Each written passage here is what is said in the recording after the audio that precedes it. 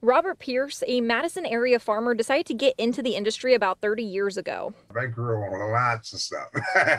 like, you know, wherever it goes to, a, you know, farmers markets and stuff like that, I, you mm-hmm. know. But like many black farmers across the country, he had trouble even accessing land. Just that process of being able to get loans enough to buy land. Just never had enough. He says he feels like discrimination kept him from getting some of those loans. It's a struggle dating back to slavery and broken promises following the Civil War to documented discrimination by the U.S. Department of Agriculture going back to the 1960s. Black farmers have been left out and have significantly fallen behind their white counterparts. This is not just episodic, this is historic. And it's not just a moment. It is something that the entity that was established to support farmers was actually discriminating against farmers. In 1920, 14% of all farm operators were black. As of 2017, that number has fallen below 2%. Here in Wisconsin, just 0.07% of farmers are black. That's just 73 farmers across the state.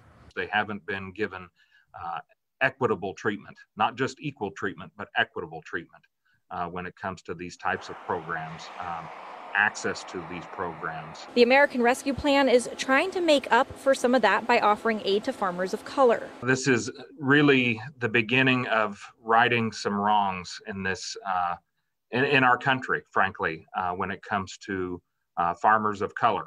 $4 billion is pledged to erase debt for socially disadvantaged farmers with outstanding loans involving the USDA. 1 billion will go towards training and technical assistance. The aid is earmarked for Black, Hispanic, and Latino, Asian American, and Indigenous farmers.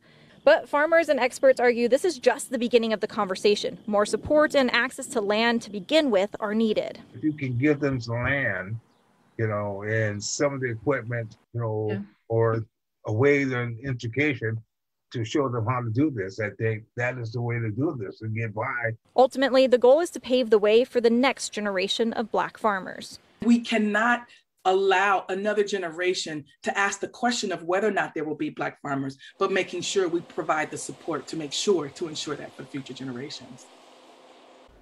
So we dug a little deep into the numbers and we found out that in 2017, black operated farms accounted for nearly 5 million acres or just, get this, a half percent of the U.S. total.